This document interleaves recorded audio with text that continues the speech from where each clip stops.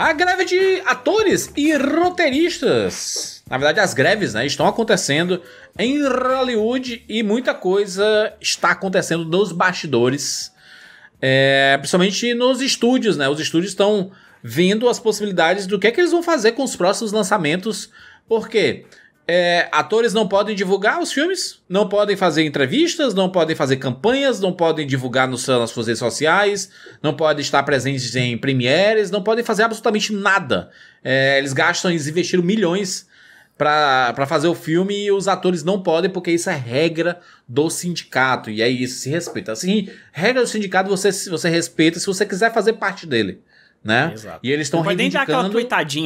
Não pode tweetadinha. dar tweetada. Imagina a. Margot Robbie vendo Barbie explodindo e ela não pode nem dar aquela tweetadinha, assim, aquela Mas é por retweet. isso, e é, é por isso que ela fez 52 premieres antes da, da greve, né? Porque ela Não, mas imagina... era uma premiere nova. Não, mas imagina lugar ela hoje em diferente. dia vendo o sucesso real do filme É. e ela não pode dar um retweet. Não pode não comemorar o bilhão. Mano, né? ela O deve estar, vai sei vir. lá, deve ter ido Em pro Caribe, sei lá, alguma coisa. É. Não, ela deve ter desligado o cérebro. Não é possível, cara, porque deve ser um desespero você não poder falar nada. Não poder dar entrevista tá- sobre isso. É o, o seu grande momento. Mas isso faz parte e é isso. Os, os grevistas estão certos em exigir suas coisas. E essa é a regra. É, eles, preci- ele- eles precisam é, ser mais valorizados pelos estúdios. E às vezes as exigências deles estão corretíssimas. É, saindo dos grevistas aqui, indo para os estúdios, os estúdios estão pensando já em mudar o cronograma de alguns lançamentos é, futuros. Inclusive, eu, eu, eu falei isso aqui quando, quando a greve explodiu. Que é que eu falei no Twitter ali, ó? Com a greve dos atores rolando, eles. E eles sem poderem promover filmes e séries, os estúdios e streamers têm duas saídas: investir em marketing, né? Que é fazer divulgação, fazer é, é, propaganda, e isso eles podem fazer, tá? Tipo, promo- pro- promover trailer, é, divulgar em vários lugares, porque não depende dos atores, são coisas já gra- gravadas previamente, né? Desde que Ou- esses trailers todos já tenham sido gravados antes. já tenham sido gravados anteriormente. Mas como são trailers de produções já filmadas, né? É, não tem, né? Já foi feito antes, né? Não tem jeito. O que não pode é tipo aparecer Margot Robbie dizendo assim: gente, muito obrigado pelo no trailer." sucesso de, de Barbie aí no primeiro fim de semana. Não pode, isso não pode, porque Não pode. é agora, pontual, né? Durante a greve. E aí tem duas saídas: investir em marketing, ou seja, ir lá no Rapadura Cash, divulgar é, aqui no canal e fazer uma divulgação de um lançamento, de uma estreia Isso, nova importante. ou adiar. Eu, eu falo, falo assim, eu acredito que Barbie e Oppenheimer já tiveram seus marketing bem feitos. O problema são os filmes do, do fim de julho e agosto, né? A gente tá falando ali do Mansão Mal Assombrada, que foi até estranho o que eles fizeram. Eles colocaram é, pessoas vestidas dos personagens Era- estranho. umas fotos, assim. Foi estranhaço, sabe? Que a, que a Disney fez, porque eles não Cosplay. querem adiar e vai, vai estrear agora, né? né? É, isso aí não, é porque tá muito em cima, não tem como, né? Vai Não tem como adiar, né? É. Agora esse aqui, Esse o aí. Besouro Azul, esse aí é triste, porque né, chega dia 11 aí nos, nos cinemas de agosto. E já saíram as primeiras prévias, né, de... de, É, de- algumas de- pessoas do estão que ele achando deve ter legal, de... dia 10 de agosto. Não, não, né? não. Não, eles estão fazendo de prévias de... É, De não, bilheteria, não do né? próprio Tá filme, mas de bilheteria, né? Previsões de bilheteria. Prévias não, previ- É. é, previsões de bilheteria. E ele, e é, aparentemente, ele vai ser a pior estreia da história da Eu DC. adiaria um cadinho, tá? Eu acho que não, porque, cara, eu não sei também qual é o potencial Não, desse não, não. filme. Alguns meses. Não precisava ser. Só, só não lançar em agosto durante a greve. Você pode lançar em, agosto, em outubro, sei lá. Uma parada dessa, porque, Rogério, é, não ter o elenco, que é muito vocal, participando da promoção desse filme é péssimo, cara. É péssimo. Porque é um filme que conversa muito com a comunidade latina e os latinos não podem falar sobre o filme, caramba. Não, e a, a pobre da Bruna Marquezine. É, Pobre, é né? demais Coitada. isso aqui, né? Mas, poxa, ela já não pôde dizer. É, cara, que, que, né? Ela só não, ela não pôde ser Supergirl lá no, no filme do no Flash. Apesar É. que eu também não sei se isso foi tão ruim pra ela, não. Mas ela não foi a, a Supergirl lá no Flash por causa da pandemia. E aí agora ela não vai poder é, fazer publicidade desse filme, que seria um. Cara, é uma baita vitrine pra ela fazer a publicidade do filme, né? É. Tá lá em Premiere e tudo mais, as pessoas. Ah, Olha quem aqui é é essa menina. Bruna Marquezine. O Gran Turismo Esse também filme não precisa assistir. Agosto. Não né? sei. Gente, pô, contratem a gente pra fazer propaganda, mas de qualquer forma, não sei se precisa muito assistir, porque o trailer já contou o filme inteiro. Então... Aí a gente também tem o Caos Mutante aqui, os Tartaruga Ninja, né? São filmes aí de, de julho e agosto, finalzinho de julho e começo de agosto, que vão sofrer bastante por causa no, da falta de promoção. Ah, o desenho aí, dá, né? O desenho dá. O Romariz, até ele respondeu em algum momento aqui, ó. Adiar filme em menos de um mês, sério? E é um, é um negócio que realmente adiar em cima da hora, assim, é muito difícil, exceto que você pense assim, olha, é a única forma, é o único jeito, sabe? E aí, o que, o que é que aconteceu? A gente já tá vendo movimentações no mercado de alguns estúdios pensando nos adiamentos. Olha aqui, ó. Duna 2 deve ser adiado para 2024 e Aquaman também pode ganhar nova data. Filmes de final do ano da Warner e eles já estão pensando que. E, e aquele pensamento de. A greve deve durar mais do que se imagina, não vai acabar tão rápido. É, e elen os elencos não podendo promover esses filmes desses tamanhos, é melhor adiar para o próximo ano. E aí e é uma, uma coisa que pode coisa, acontecer, né? E tem uma outra coisa, Juras. É você ter um espaço de calendário gigantesco que você não vai conseguir cumprir. Aí você, você joga é. o filme pra frente para você ter filme no calendário, né? Exatamente. Apesar que, se fosse eles, lançavam Aquaman e esse Beetlejuice aí logo, porque... Beetlejuice? Blue Beetle, Esse besouro azul aí, porque, mano, é. convenhamos, cara, se livra logo desse... Dessa tralha. Duna parte 2, sequência do épico de 2021, pode chegar um pouco mais tarde no cinema. Caraca, o Villeneuve não dá certo, né? Porque o, o Duna 1 foi lançado no meio do período pandêmico ali e foi maior problema para lançar e cheio de restrição e tudo, e agora, por causa da greve, é outro com problema aqui, né? De acordo com a revista Variety, a Warner Bros. considera adiar o lançamento do filme para 2024 devido às paralisações causadas pela greve dos roteiristas e atores. Três fontes confirmaram as discussões ao veículo, mas nem a Warner nem a Legendary é, corresponsável pelo, pelo longa se pronunciaram oficialmente. O filme, por enquanto, segue com a data para 2 de novembro de 2023. Não, não surpreenda se e... até Capitã Marvel, as Marvel ser adiado também, tá? O, o, e, e se o filme não. for. E, e, cara, conhecendo o Villeneuve, é. se esse filme for adiado, ele não vai querer adiar para começo do ano, nem meio vai do ano. Um vai querer ano, adiar né? pro final do ano, porque é. o, a, o, a, ele sabe que não é um filme que dá tanta bilheteria assim. Sim. Ele sabe que é um filme que pode dar uma bilheteria que vai se pagar e tudo mais, mas não é coisa de bilhão, não é um. Principalmente é. porque é uma parte 2. E é, ele, ele visa, o que Villeneuve visa se chama Oscar. Então ele vai jogar pro final do ano, ele não vai querer fazer no começo do ano. É, no, no caso de Aquaman especificamente. Aquaman não, Aquaman é. é...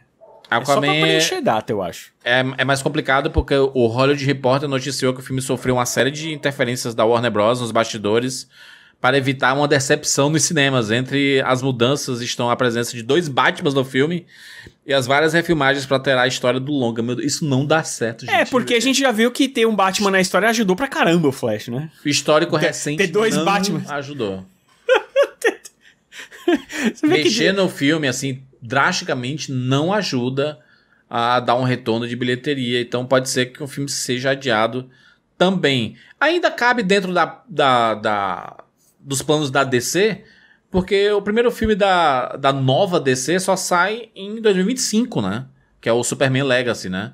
Apesar de que em 2024 a gente vai ter duas séries, né? É, o Creature Commandos e o da Amanda Waller. Mas você coloca, sei lá, pro segundo Mas semestre é ali. Né? Cinema, né? Não é cinema. cinema não é tem série, filme. Então eu acho que. É que. Eu acho que eles vão adiar sim, cara. Pro meio é do ano, talvez para julho e. É. Não deu muito certo, né? Não ter o protagonista não falando sobre o filme, que é o Ezra Miller, né? Ele não pôde viajar, não fez é, entrevista, não viajou, não fez junkets, não participou de promoções. Ele, ele era pra estar em tudo. E isso ajuda, cara. Marketing ajuda, gente. Marketing. É, você, o seu produto não faz sucesso se não tiver marketing, não tem jeito.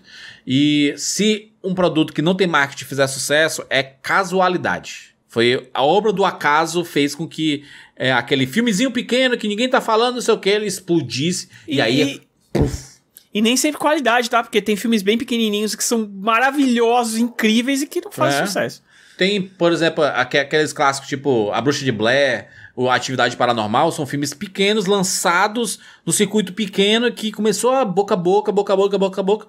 Estúdio foi. Marketing. Socou lá 30, 30, 40 milhões de marketing e todo mundo. Ah, Aí foi pro mundo inteiro. E, cara, não tem jeito. É investimento. Investimento em marketing É isso que funciona as pessoas falarem, né? Como, como é que você quer que a pessoa assista o, o seu filme se você nem sabe que vai estrear? Tem muita É- gente que é quando, quando, quando chegou um, um flash da vida no cinema, você, caraca, nem sabia que esse filme ia ser lançado. Você. Parece né? bobeira, né? Mas essa A história tá da- da- bolha, né? essa história das premieres, cara, elas fazem uma baita diferença pra alertar outras pessoas que não são tão ligadas no meio, assim, Exato. que nem a gente, por exemplo, que o filme É. existe. Então o cara vê uma propaganda ali, pô, vê uma matéria no Fantástico. é, sabe, essas coisas É. que. Uma entrevista e tal. Cara, você perder tudo isso, o filme fi- fica meio invisível é, é, pro público, sabe? E aí fica só no marketing. Eu acho que a animação, por exemplo, do Tartaruga Ninja é mais fácil de fazer. Porque não depende tanto do público e tudo, né? É, aliás, do público não, não depende tanto do, do, do elenco e tudo mais, né? É. Mas, poxa, um, um live action, eu acho que é bem complicado. Eu acho que todos esses filmes que a gente falou aqui, eles têm sérios problemas pra, pra engajar se não tiver o, o elenco pra- pra fazer marketing, tanto em redes sociais quanto em. Sabe? Sabe aquela, aquele Sim. Reelzinho de 15 segundos, tal, que um ator faz ali, uma brincadeirinha, uma coisa que. Cara, você não pode fazer nada disso. Atrapalha demais, demais É, o, o, o, o próprio Tom. Cruise, lembra que o Tom, é, saiu a notícia de que o Tom Cruise ele, ele pediu ao sindicato do- dos atores, né, Pra permitir que os atores que estão em filmes que vão ser lançados durante a greve, que eles pudessem promover, porque ele Tom, Tom Cruise ele defende também muitos estúdios, né? Ele tá é um produtor, Ele é produtor, né? né? Ele é Né? produtor. Então ele, ele tá do outro lado também da- das, das negociações, né? É, ele é o que negocia com os atores, né? Com o sindicato pra, É, pra ele chegar só faz filme ao dele greve. ultimamente. Ele é, É. produ- ele é produtor, né? Basicamente, Sim. hoje em dia.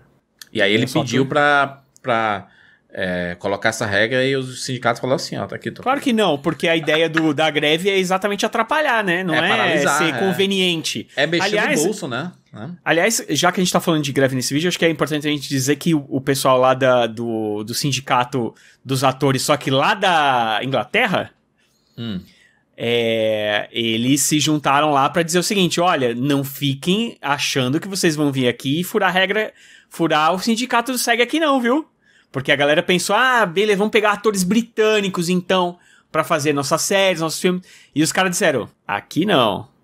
Aqui não vai. Aqui vocês não vão fazer isso, É não. que o SEG ele não tem poder pra interferir. Não a- tem as, mais só As regras lá na, na, na Inglaterra, no Reino Unido especificamente, elas são muito contra as, as políticas sindicais, né?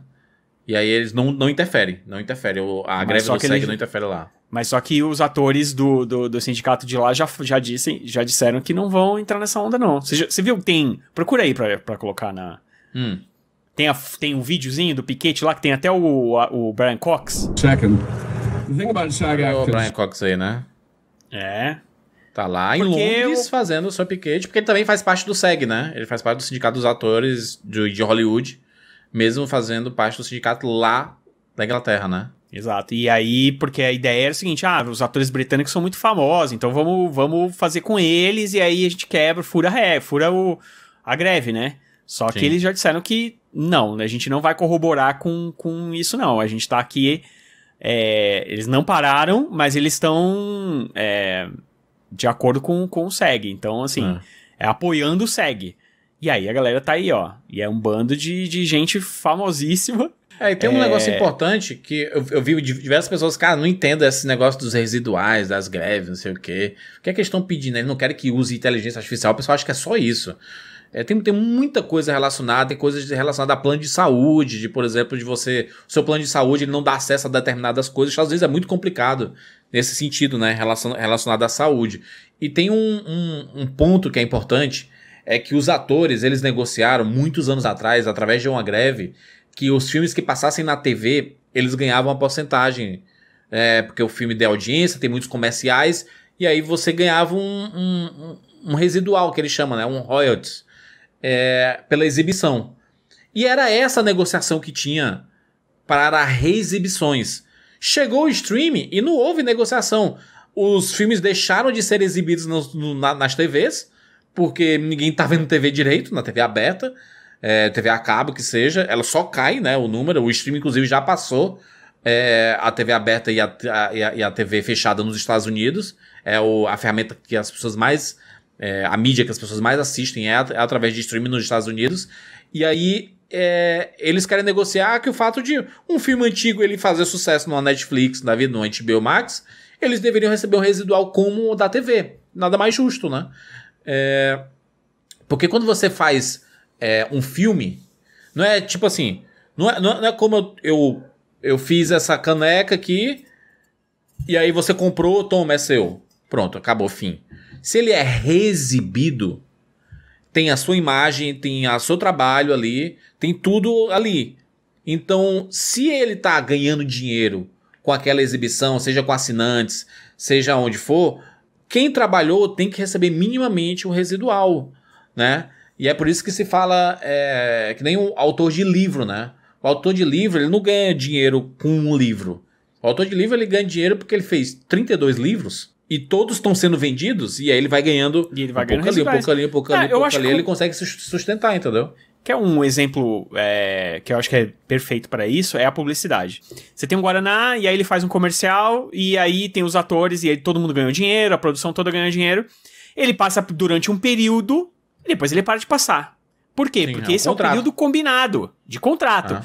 Se essa propaganda, pode reparar que essas propagandas dificilmente elas voltam. Por mais brilhantes que elas sejam. Por quê? Porque senão você vai ter que pagar todo mundo de novo. Ah. E, e aí, pra eles, é mais interessante criar novos comerciais do que Sim. simplesmente pagar o comercial antigo. Existem, existem figurinhas carimbadas. Lembra? Antigamente a gente tinha o carinha da Bombril, né? Que era com Ele ganhava toda- carequinha, não sei o quê. Eram propagandas propaganda novas, nova. né? Então eram coisas novas. Não era a mesma de sempre, sabe? Exato. que E até, até mesmo, por exemplo, quando a Parmalat refez o comercial das crianças, que repassou, né? Passou de Isso. novo pra. E pagou de novo aquelas crianças, todo mundo Pagou de de novo, novo. Pagou a agência, pagou todo mundo de novo. Porque É. Ah. aquele conteúdo não é da marca, ele é da marca durante o período. Depois disso, ele reverte, a não ser que É exista o um direito de imagem, né? É muito. Exato. Quando você assina publicidade, é o direito de imagem de você relacionar a sua imagem com a marca especificamente por um E- e- período, né? E como era antigamente com DVD e com a televisão e, e, é, não visava o streaming, então as pessoas passaram a receber um pedacinho muito pequeno de quando ela é vendida para um streaming, por exemplo, entendeu? To- Mas e durante as- todo o tempo que ele tá passando lá e... Eles tiveram várias negociações. é, é, cara, você só. No sindicato, a gente tá falando especificamente do sindicato de, é, de roteiristas e atores e tudo mais. é, eles só conseguem as coisas na greve, fazendo greve e mostrando assim, cara, a gente precisa, a gente tem que receber. Foi aquela greve lá do- do- dos anos 80 por causa do VHS, né? Começaram a venda de home video. E aí eles falam assim: a gente eh, tem direito de receber, porque se a gente. Né, é o nosso filme e ele está sendo exibido, as pessoas estão comprando, a gente tem que receber uma porcentagem. E aí esse, esse direito foi estendido para as outras de home video, né? Para DVD, para Blu-ray. E depois tiveram atualizações também. E aí chegou no streaming e não teve essa negociação. Aí teve que. Tá, tá tendo que ter a greve para as pessoas receberem, né? Então são Sim. muitos assuntos É, e- aí, né? E assim, né? Obviamente que tiveram várias negociações antes de entrar em greve. A greve é, ela é um instrumento só. Tipo assim, se É. ninguém quer ouvir o que você é tem um a dizer, estopim, né? você vai É um usar o estopim. que você tem. É. Você vai, você vai parar. É, tipo, eles E pedem, pronto, ah, é. a gente quer 8% de residuais. E aí o estúdio fala assim, eu dou 2. Aí ele fala assim, cara, não é justo. Vamos entrar em greve É, aí, e, porque... e- e- as negociações, elas são naturais, elas acontecem. É, É. E aí e não chegar nem de um lado nem de outro. Então, muitas vezes, a- o sindicato ele vem com um valor muito alto, aí a, a- a indústria vem com um valor mais baixo, e eles vão negociando até chegar num, num valor que seja bom para todo mundo, que não seja nem necessariamente aquele mais alto, nem aquele mais baixo. Sim. No caso das, da, da indústria, neste. No caso do- do- do- do dos roteiristas e dos atores, existiram cláusulas que simplesmente a indústria falou: não quero nem ver isso aí. É. Então, assim, é difícil. Como é que, como é que você vai continuar trabalhando, sendo que é, várias das cláusulas que são importantes, que é principalmente a questão dos residuais e a questão da inteligência artificial, que, tipo, Sim. os caras falaram: não, não, simplesmente não tem negociação. Não, que é isso, tem que ter negociação, cara. Tem que ter negociação. Alguém vai dar o braço a torcer, né, em, é, em Ele- algum é momento um, é aí. um verdadeiro braço de ferro, porque a indústria falando que não precisa É. de vocês e, e os, os sindicatos falando, tá bom, vamos ver o que vocês vão fazer sem a gente, então. Exatamente. E aí, enquanto isso, vai tudo parado, né? Exatamente. Falamos aí de diversos assuntos, hein? adiamentos, possíveis adiamentos. Não, não se surpreenda se você vê algum desses filmes grandes sendo adiados aí. É, a greve deve durar mais do que se espera, tá? A gente pensava que ia resolver nesse mês de julho. E tá braba, tá braba assim, sabe? Tá difícil. Eu vi, vi as atas, depois a gente pode até fazer um vídeo disso, eu vi umas atas de discussões de. É um negócio absurdo. A maioria das coisas que os sindicatos estão pedindo tem, tem escrito assim: rejeitado, rejeitado, rejeitado, rejeitado, rejeitado, rejeitado. Vai ser difícil. É, e o pior é que nada de rodadas de negociação, né? Isso que deixa é. depois da greve, né? Parece que realmente é, é, ninguém quer, quer tirar o pé. Então vamos, vamos ver o que vai acontecer. Vamos aguardar. Se inscreve aí no nosso canal e clica o sininho para ser notificado a cada vez de novo, que a gente está trazendo novidades aqui. Tudo que acontecer, a gente fala pra vocês. É isso, nos encontramos na próxima. Tchau.